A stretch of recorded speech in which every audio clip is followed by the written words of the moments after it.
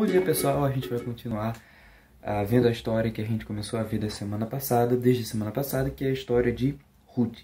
Mas a história de Ruth, ela começa com a história de Noemi, né? Fazendo aqui uma recapitulação, fazendo aqui uma revisão. A gente viu na semana passada que Noemi, ela morava na cidade de Belém, ela com seu marido e os seus dois filhos. Mas por conta de uma crise que aconteceu lá na cidade, por conta de uma seca, uma forte seca, eles decidiram viajar de Belém para uma outra cidade. Deixa eu pegar aqui o nosso mapa. Aqui, eles viviam na cidade de Belém, mais ou menos por aqui, mas por conta de uma seca que aconteceu em Belém, eles viajaram para Moabe e passaram a morar lá.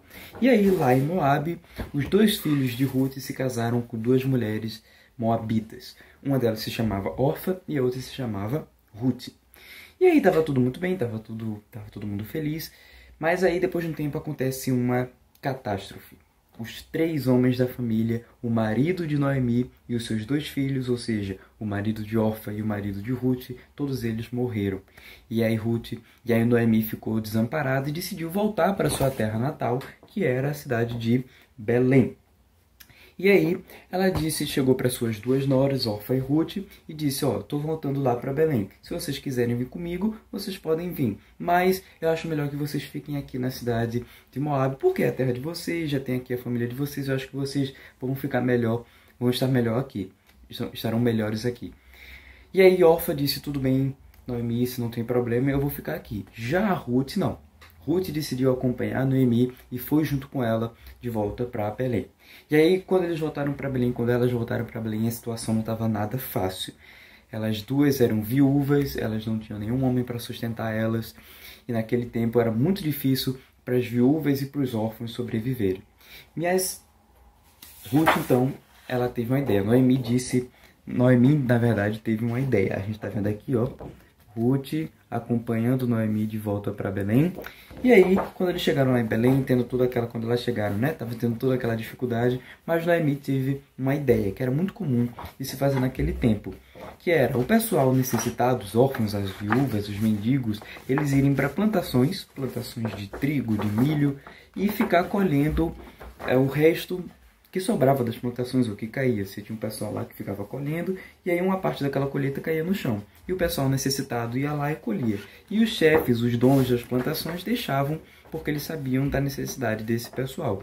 E aí Noemi disse para Ruth: Olha, Ruth, vá lá para a plantação e fique colhendo os restos de trigo que caem lá no chão. E aí Ruth aceitou, né? Era a única forma que elas tinham para sobreviverem e foi lá colher. E ela foi lá na plantação de um cara chamado Boaz, esse cara aqui. E aí Boaz, quando viu aquilo ali, ele soube que era uma estrangeira e ele se compadeceu dela. E a gente foi assim que a gente terminou a história na semana passada, que a gente vai continuar a partir de agora. Boaz, vendo Ruth lá, ele se compadeceu dela, ele teve muita pena dela e chegou lá para Ruth e disse: Ruth, eu não quero que você vá colher, colher, eu não quero que você vá é, colher da planta, de mais nenhuma outra plantação. Eu vou deixar que você colhe aqui na minha plantação. E além disso, ele chegou para todos os seus empregados e disse: Olha, eu não quero que nenhum deles, nenhum de vocês, né? Ele falando para os empregados, nenhum de vocês impeçam Ruth de colher nada. Eu quero que vocês, inclusive, vez ou outra, até deixem cair um pouquinho da colheita para ela pegar. E se eu souber que algum de vocês estava lá aborrecendo ela, vocês vão sair comigo. E aí ele fez tudo isso para proteger Ruth, e Ruth ficou muito agradecida porque ela era uma estrangeira e naquele tempo os estrangeiros não eram muito comuns na nação de Israel, além do fato de que ela não era qualquer uma estrangeira, ela era uma estrangeira de Moab, que era uma nação inimiga de Israel. Ainda assim, Boaz foi muito gentil com ela. E aí, quando ela voltou para casa e veio com toda aquela plantação, com toda aquela comida, e, e mostrou para Noemi, a sua sogra, ela ficou muito feliz e ficou, rapaz, quem foi que fez tudo isso? Quem foi esse que, que deixou, que fez, que foi tão bondoso com você? E ela disse que era Boaz. E aí acontece que Boaz, ele era, na verdade, um parente do, do esposo de Noemi. Lembra o marido de Noemi que morreu? Ele era parente de Boaz. Boaz era parente dele. E aí talvez foi por conta disso que Boaz tenha se compadecido tanto de Ruth.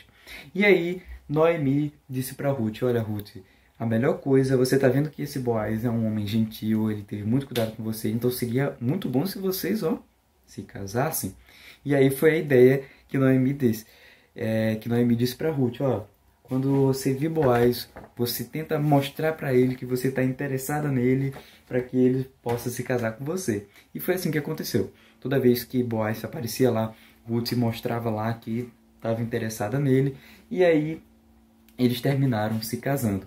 E tiveram um filho, olha só, tiveram um filho depois, um filhinho, um menino, e esse menino teve um outro filho, e esse outro filho teve um outro filho. Enfim, resumindo, esse filho de Ruth e de Boaz, ele foi avô de ninguém mais, ninguém menos do que o rei Davi. Ele foi pai de Jessé, que foi pai do rei Davi. E aí a gente vai ver, né, a gente sabe a história que depois o rei Davi foi um homem muito importante para a história de Israel. Então a gente viu a importância que Ruth teve para a história de Israel. Mas o que, é que a gente aprende nessa história? Nessa história, Boaz foi o resgatador, foi o libertador, foi o salvador de Ruth. Foi graças a ele que Ruth é, conseguiu sobreviver, conseguiu suprir as necessidades dela e da sua sogra Noemi. Foi graças a ela, foi graças a ele que Ruth passou a fazer parte do povo de Israel né, e passou a adorar a Deus. Então, Boaz foi importantíssimo para a história de Ruth. Ele foi o salvador de Ruth. E isso, esse papo todo de um salvador, de um libertador, isso não lembra ninguém, não? Claro que sim. Isso lembra Jesus. Da mesma forma que Boaz fez tudo aquilo com Ruth e Noemi e terminou salvando a vida delas, Jesus foi o nosso salvador, foi o nosso libertador. E é isso que a gente aprende com essa história. Muitas das histórias do Antigo Testamento, pessoal, apontam para Jesus. Então, da mesma forma que Moisés foi libertador, né? Libertou o povo do povo do o, o povo do povo, libertou o povo da terra do Egito, trouxe para a terra de Canaã. Jesus nos liberta do domínio do reino do pecado e nos leva para Jerusalém celestial, para o céu. Né? É, Josué, que foi o líder do povo na conquista da terra prometida, da mesma forma, Jesus nos lidera na, na, na conquista da nossa terra prometida, que é o céu. E aí agora também Boaz, que foi o libertador, que foi o resgatador de Ruth e de Noemi, aponta também para Jesus. Bom, pessoal, é, vamos orar para a gente acabar a aula de hoje. Obrigado, Senhor, por essa história. Obrigado por Jesus, que foi o nosso libertador, o nosso salvador. Peço que o Senhor aplique essa palavra no nosso coração e nos faça sempre lembrar do teu cuidado, do teu amor que tu demonstraste para as tuas servas Ruth e Noemi e também demonstra sempre conosco. Nos abençoa, que eu te peço em nome de Jesus. Amém. É isso aí, pessoal. Fiquem com Deus. É, continuem estudando a revista. Continuem decorando os versículos, fazendo as atividades. É isso aí. A gente se vê na próxima aula.